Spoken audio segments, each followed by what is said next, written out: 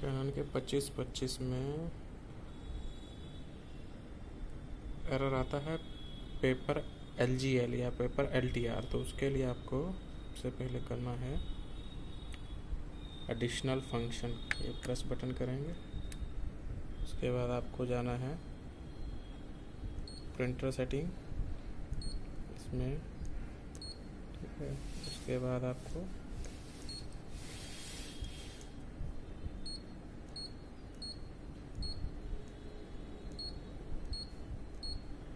ये paper size overwrite इसको okay करना है। इसको ऑफ़ रहेगा तो इसको ऑन कर देना। ठीक है तो आप जो भी प्रिंट करेंगे, वो एरर नहीं दिखाएगी एल एल टी आर या एल जी एल करके। ठीक है ऑटोमेटिक ये पेपर सेलेक्ट कर लेगा, कोई भी साइज़ रहेगा तो। ठीक है।